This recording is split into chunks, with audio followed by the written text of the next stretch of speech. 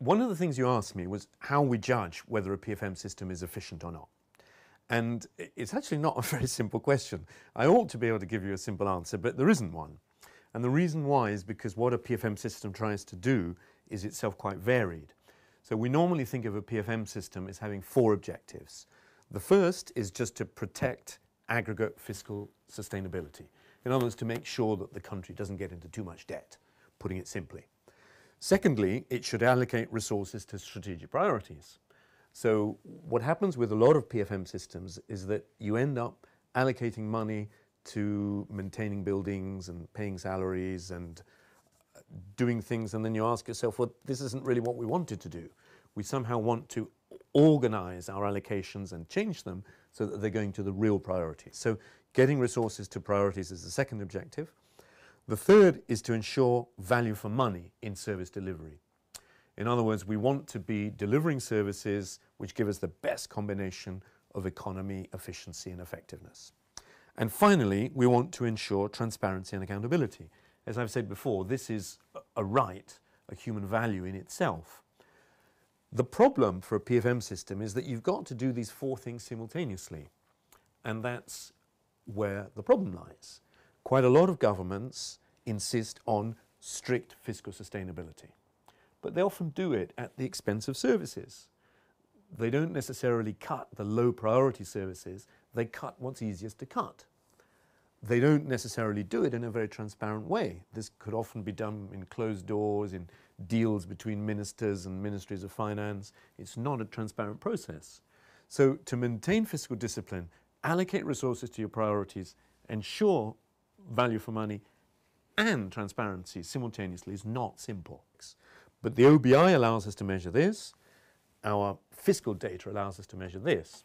What's very difficult to measure is this bit in the middle because strategic priorities may change from one government to another and they would change from one society to another. Some societies value education and health much more than infrastructure and electricity generation and energy supplies and things like that. But different governments have different perceptions of what are strategic priorities. And then to measure value for money, you need to measure in some detail the way in which services are being delivered, how efficient they are, how effective they are, how equitable they are. There are some ways of doing that, but they involve very detailed studies. So you can't easily measure these two things when you're going into a, a particular country or, or local government to, to examine their PFM system. So what we try to do is to look at the rules and procedures and practices which are most likely to ensure that these four things happen simultaneously. And there's uh, various systems for, for judging that. There's an international system called the, the PEFA uh, methodology, the Public Expenditure and Financial Accountability methodology, which has a set of 31 indicators. And that allows us to reach a judgment on whether the practices and institutions most likely to generate these four are, are working. But there's always a little bit of debate. Sometimes some people say, well, the PEFA methodology is not appropriate to our country. We'd like to use something a little bit different. So there's always a little bit of a grey area uh, about the question of efficiency. And um, really what one tries to do is to reach a judgment, to try to make sure that the leaders in the particular country involved with managing the system share your judgment, and then from that to, you move to some ideas about how to reform it. How do we ensure that we're going to get a successful public finance management reform? Most research and experience suggests we need three things. We need leadership. Specifically, it's got to be both political and technical. It's not enough just that the permanent secretary of the, Ministry of the Ministry of Finance should be wanting reform. The Minister of Finance needs to want reform. The Prime Minister or the President also needs to want reform. And that needs to be supported by good communication and coordination. Very often you've got well-committed politicians, but they don't communicate their ideas very well. They don't have a good coordinating team to make sure it all happens.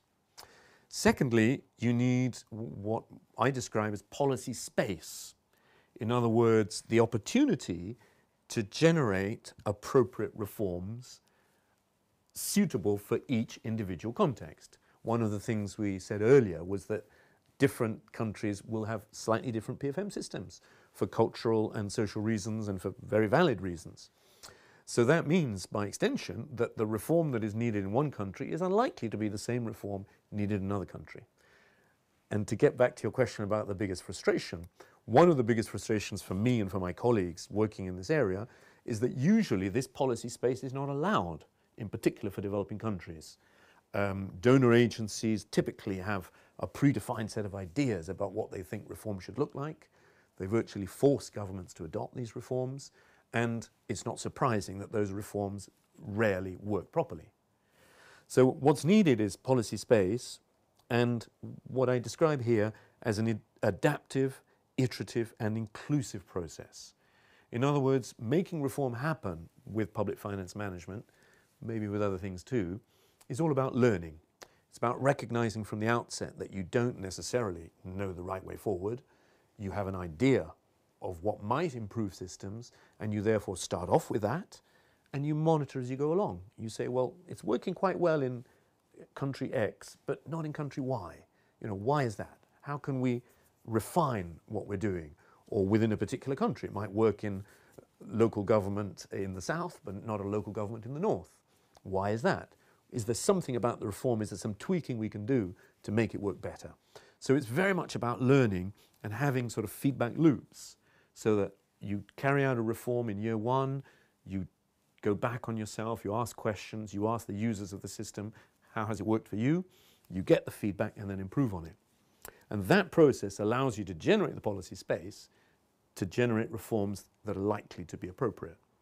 It's very rare that that actually happens, unfortunately, because governments maybe are too ambitious, they want to get things done too fast.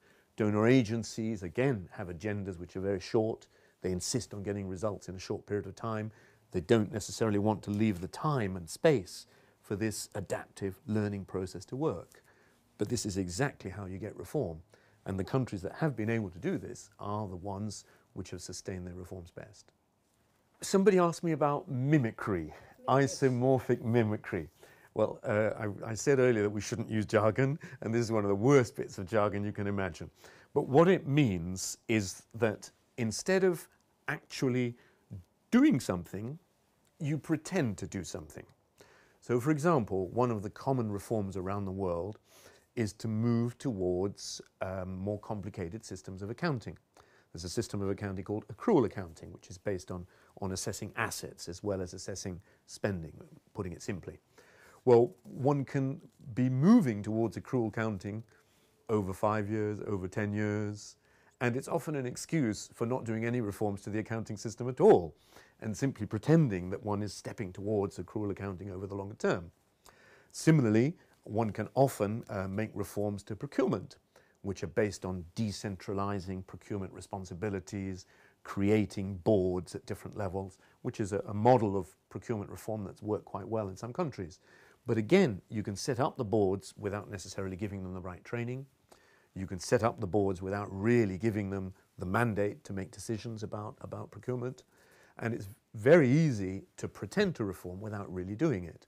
So, one of the problems about this policy space issue is that when governments are forced to adopt a particular model of reform, those governments that don't really want to reform in the first place, that makes it very easy for them. They'll say, yes, we will do accrual accounting. Yes, we will do decentralized procurement, mimicking what other countries are supposedly doing, and in some cases, convincing the financial markets that reform is really happening and therefore reducing interest rates, etc., etc. But in reality, no reform actually happens. But by the time people realize that, there's a new government in place and we're back into the, the other cycle. Yeah. What we try to do is only work in the countries where we think there's a genuine interest in reform. In other words, we may be invited to do an assessment of the PFM system in country X. While we're in country X, we take some time to actually talk to the, the ministers and, and the senior civil servants, and we make a judgment. You know, are these people serious about reform? And if country X isn't really serious, then we can go and work somewhere else. But what's a little bit more difficult for a donor, for the UK Department for International Development, is that their job is to try to help a wide range of poor countries. And if they also judge that that poor country is not really interested in reform, it's not so easy for them to walk away they still feel that they need to do something to promote reform. So, without really meaning to, they get into this mimicry situation because they want to promote reform in country X. I won't, name any countries. That particular country, the, the, the leaders don't want reform, but they click pretty quickly that if they say they're going to do a particular reform and prepare a plan and maybe even pass a law, which they actually never implement, that stalls the whole process of reform for three or four years, by which the elections have arrived and it doesn't matter anymore.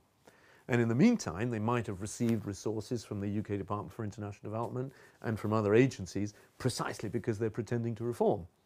So the, the incentives uh, are, you know, are stacked, unfortunately, against a, a genuine, honest approach to the reform.